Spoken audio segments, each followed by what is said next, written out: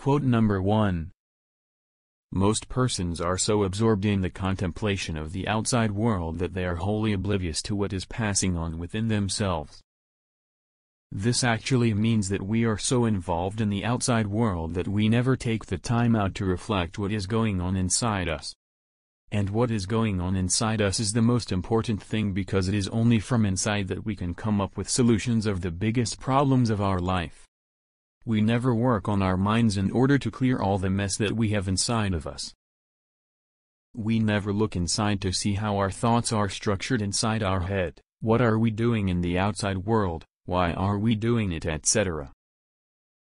Quote number 2 The spread of civilization may be likened to a fire, first, a feeble spark, next a flickering flame, then a mighty blaze, ever increasing in speed and power. This actually means that the civilization, which allows the human being to live at a degree above survival level, evolves like how fire spreads. First there is a spark, then an unsteady flame and then an inferno which keeps speeding up and getting mightier. Another interpretation of this could be growth in a person's life also happens the same way. But the important thing which can be interpreted from this is that the civilization needs to produce inventors in order to grow. The inventors are the real fuel of the fire. Quote number 3 If your hate could be turned into electricity, it would light up the whole world. This means that there is so much of hatred that exists in human beings. We take everything in a very negative sense. Instead of letting your hate become dominant, develop yourself such that your love, if turned into electricity, should light up the entire universe. In this way, your love will be visible in every part of your life. Whether it is your work or your relationships. Quote number 4 with ideas it is like with dizzy heights you climb, at first they cause you discomfort and you are anxious to get down, distrustful of your own powers. But soon the remoteness of the turmoil of life and the inspiring influence of the altitude calm your blood, your step gets firm and sure and you begin to look, for dizzier heights. This means whenever you are deeply thinking about creating or achieving something.